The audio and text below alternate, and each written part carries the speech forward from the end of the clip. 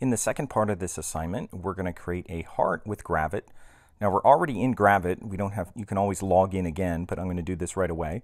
And I'm going to close up my clover shape that I was working on. So I'll just close it and then I could just say create and create a new one.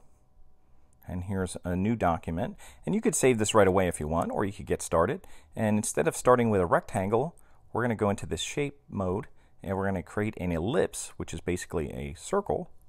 And again, you could just kind of do it manually. If you want to change the size, about 400 is working okay on my screen. You know, it doesn't have to be that size, but knowing that the width and height is the same, that'll make it a perfect circle. And again, it starts off with just kind of a generic gray in the middle here. And if we want to adjust anchor points, these are not anchor points. Notice there's a bounding box, even though it's a circle, it has a bounding box going around it of kind of the where the the widest part of it's at. So it always puts a box around the shape no matter what kind of shape you have. And again, you can't manipulate anchor points even when you use the sub select tool on these generic kind of shapes, these generic polygons. You have to go and convert it to a path. So we're going to convert it to path first. And that's a difference in Illustrator that you don't have to do. But in here, they tell you to convert it to a path. And now you can see the anchor points. There's four of them, and they're obviously curve points because they're maintaining a smooth transition and they're all probably the same, that would be really hard to draw freehand, but they're actually the same going all around. When you click on them, you could see the handle that manipulates the curve on each side. See, this has one handle that kind of makes the curve go this way. This has a handle that makes the curve go that way. That's how it makes the nice arc that's created there. So these are all curve points. There's all smooth connections between line segments that are here. And what we're going to do here is just do a couple just conversions of anchor points from curve to corner. First thing we'll do is we'll drag this thing down to make like kind of a like a squashed bean or something. And we'll drag it kind of close to the middle. We could always adjust it later. I'm going to scroll down a little and then I'm going to move this down, this bottom anchor point. And again, I'm using my sub select tool. And it's kind of like an alien head. If you picture two eyes here, this looks like an alien head in movies. I might even drag this down more. And what we're going to do here, you could do this a couple of different ways. Right now, this is a, well, I don't know what kind it is. I don't know if it's mirrored or not. I think, no, it's not mirrored, so I can, and the reason I know that is because, well, one thing, if I look here, it says asymmetric. Another thing, I can move it like this, which is a seesaw, but if I stretch this, the other one doesn't stretch. And what I'm going to do first, you could do it different ways. You could drag one side up like that and make kind of a heart shape meaning that's the kind of the right side of a heart. Now, if you went to drag this up, it would make the other side go down again. So what you can do is choose this one, which is disconnected.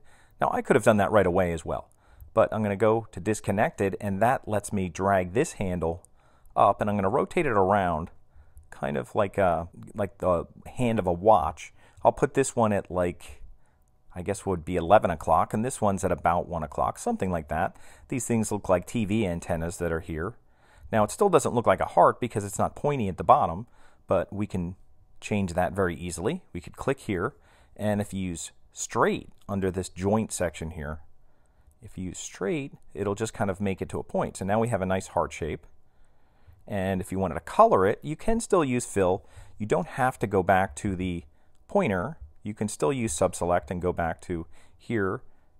And if you click right in the middle here, I'm just going to choose like a red color and maybe you want to change it to a radial gradient.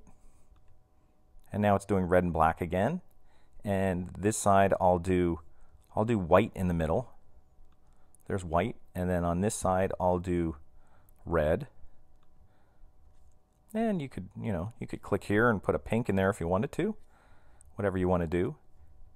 And also, if you needed to move this around, if you grab on the blue here, you could kind of put it up here and adjust it a little bit. Looks like a little highlight up there. You can put that like on fruit or something, make it look like there's a highlight. So you can move that around, and this scales it. So if you need to make this bigger, I'll just scroll a little bit. If you need to make the, the highlight a little bit bigger. Now it's not getting very big because we have pink in there. So you, you could extend this and put more pink in that, or you don't even have to have another color there or not. Now, also, another thing we're going to do, I'll go back to editing these points.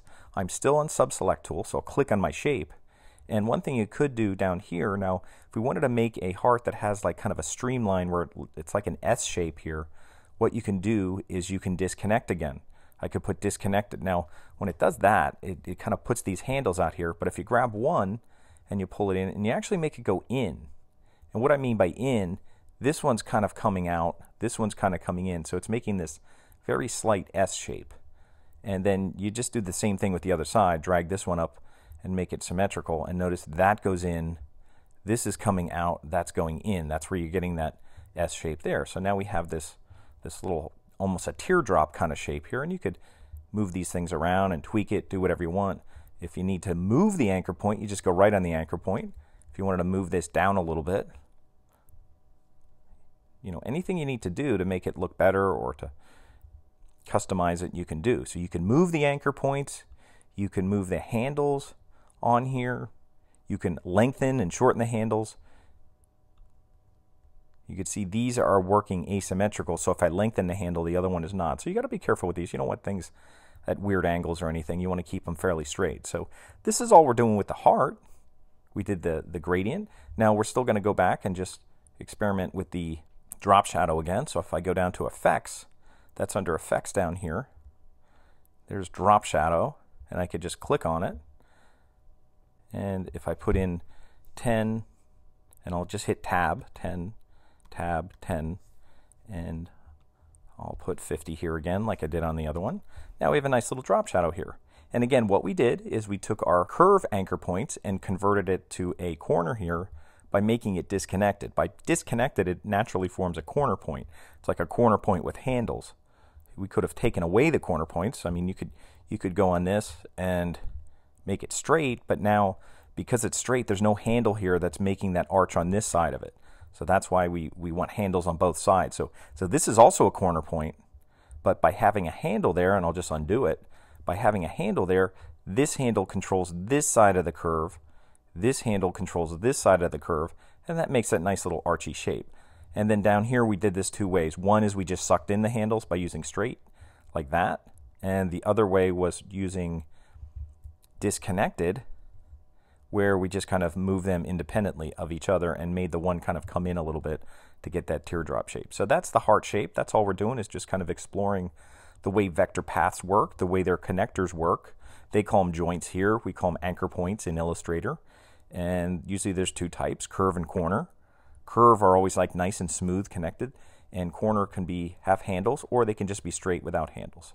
So again, if you want to share this, first I'd recommend saving it. So we could go to File Save, and we could just go File Save. And I'll just call this 6 heart because we made a heart. And I'll save it. And you can see there's my clover. And I'll save this here. And there it says my six heart. It says it's syncing it.